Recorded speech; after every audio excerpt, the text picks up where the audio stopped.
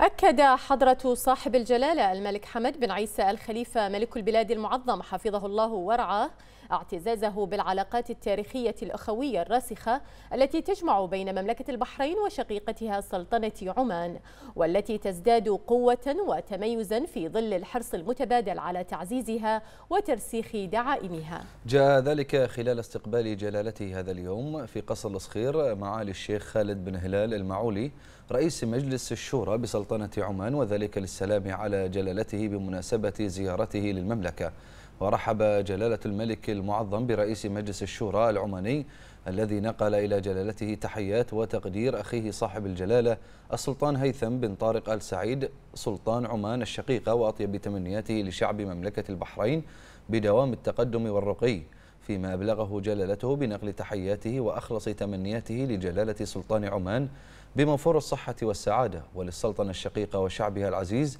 بالمزيد من الرخاء والتطور.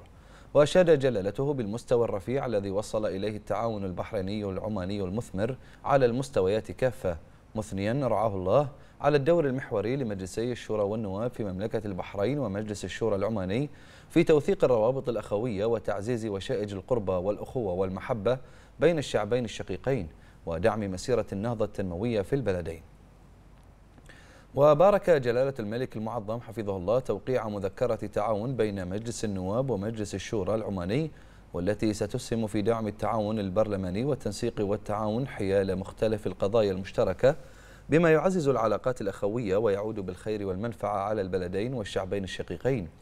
ونوه جلالته بهذه الزيارات الأخوية لما لها من أهمية في توسيع أطر التعاون وتبادل الخبرات على المستوى التشريعي والبرلماني وتنسيق المواقف في مختلف المحافل البرلمانية كما أعرب جلالته عن تقديره للدور الريادي الذي يطلع به